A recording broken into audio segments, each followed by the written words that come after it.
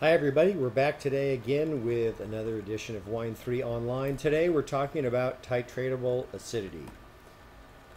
So let's uh, let's do a little review. Remember there were two measures of acid in wine. One was pH and one was TA. So, why do we have to use both of those? Well, tartaric acid shown here on the left, like any acid, will donate at least one proton. In the case of tartaric acid, it actually donates two protons. The one at the top, that one there, and the one down here on this other oxygen at the bottom. Both of those are acidic and both of those can be donated. Turns out that one is more loose than the other, kind of like a very ripe grape on a cluster. That very ripe grape will fall off easily less ripe grapes don't come off as easily. And you can think about it that in this case, if you lose one very ripe proton that comes off the cluster, you'll end up with a molecule that looks like this.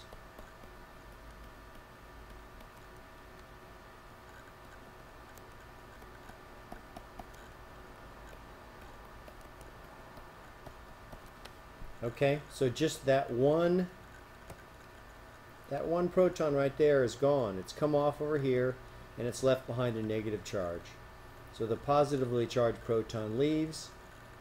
That leaves a negative charge behind because we started out with neutral, a neutral charge. So what happens next? Well, if tartaric acid happens to lose one more proton, then we end up with that same structure at the top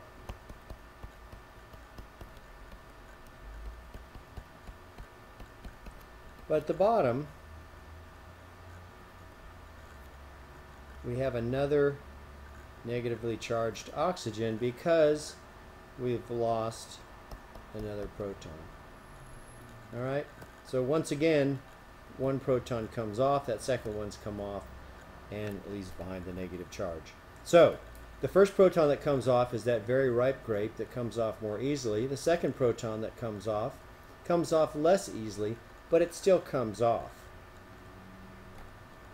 Okay, so given that those protons come off in sequence, one after another, it ends up that if we have tartaric acid, and the same actually goes for malic acid, if we have tartaric acid in wine, it's going to be existent in the wine in three different forms, or we call them species. Three species of tartaric acid. So one of the species is tartaric acid. That's the one that has the, both of those acidic protons still attached. The second species is bitartrate. That's got one proton still attached. And look, this other one, that one's gone. In the case of tartrate, it's lost both acidic protons, one there and one there.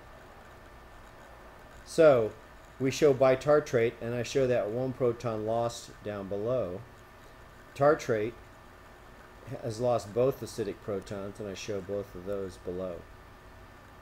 So what happens if we measure pH? Well, pH, as we, as we talked about in class, measures just the protons that have already been released into solution. So pH would measure those three. But it's not a complete measure of all the acid in your solution because what are we missing if we just me miss the measure those three? We're missing this acidic proton and this acidic proton and this acidic proton. So we have more acid than that than that which is measured by pH only. A stronger acid will release more protons in solution. And in this case, we have sort of a medium strong acid. But no matter how many protons are released in solution, if you have protons left behind, pH is not going to measure them. So we have pH and titratable acidity as two ways of measuring acids in wine.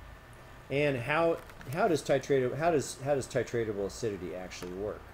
Well, we're going to add sodium hydroxide to the wine, and that's going to pull off all the acidic protons from tartaric acid or malic acid or the other acids in wine.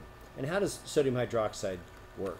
Well, when you throw sodium hydroxide in water, it's a salt, just sort of like sodium chloride. Remember sodium chloride? That's just table salt.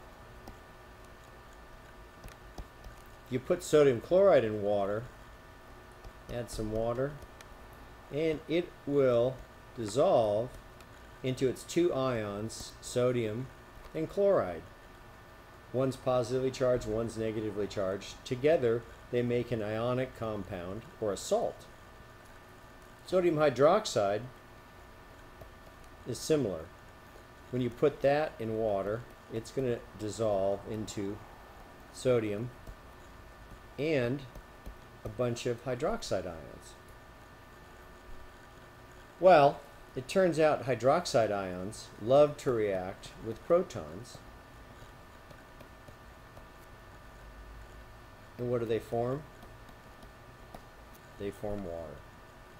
So if we put hydroxide into wine that's very acidic, this reaction right here is going to happen. And the hydroxide, this guy, right, that's hydroxide, that will neutralize protons. The more hydroxide you add, the more protons you neutralize and you turn them into water.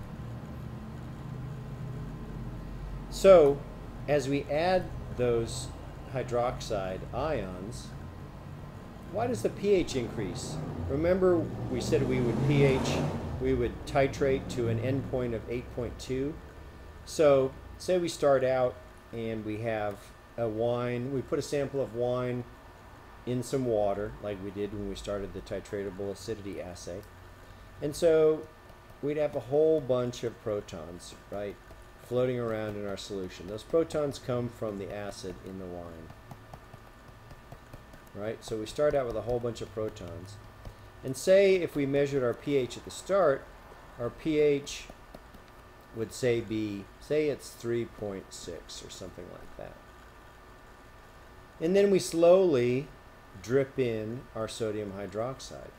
So let's let's say we're going to add one mol one atom of sodium hydroxide, and that reacts with the one proton to make water. Well, now that proton is effectively gone, right? It's neutralized. Let's do this. Let's just erase that proton.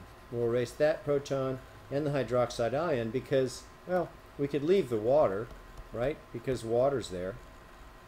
But we removed a proton, right? So now, what happens? Well, our pH has to go up. So I don't know how much it would go up after we add our first drop, say, of sodium hydroxide, but say it goes to 3.7.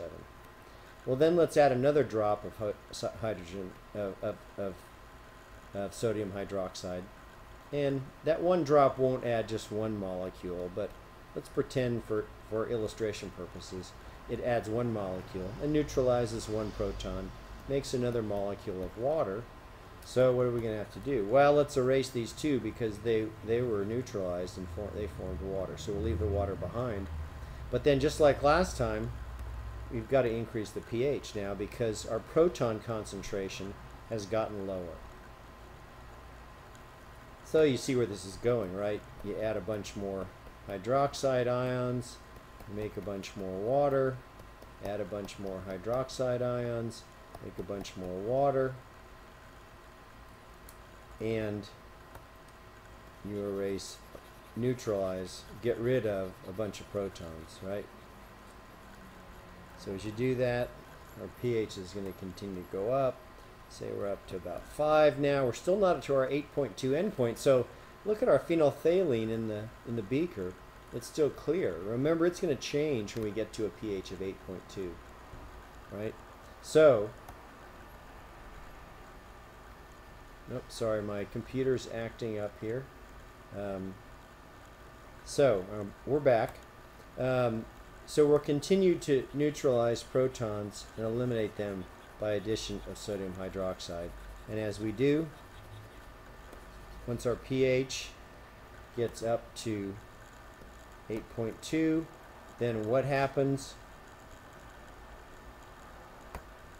Voila, our phenolphthalein changes color because we our indicator, our phenolphthalein changes color when our pH gets to 8.2.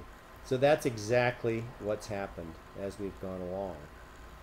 And what has the sodium hydroxide done? Well, it's pulled off, it's, it's neutralized those three protons that were already removed from the different species of tartaric acid, right? The three protons that would be measured by pH.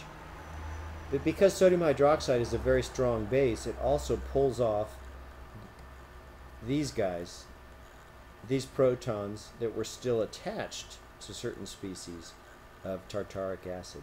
Remember we use the analogy to a large dry sponge. Sodium hydroxide is such a large dry sponge, it can soak up all the pro acidic protons, whether they've already been removed from tartaric acid or whether they're still attached. It's such a strong um, base. So that's how it works.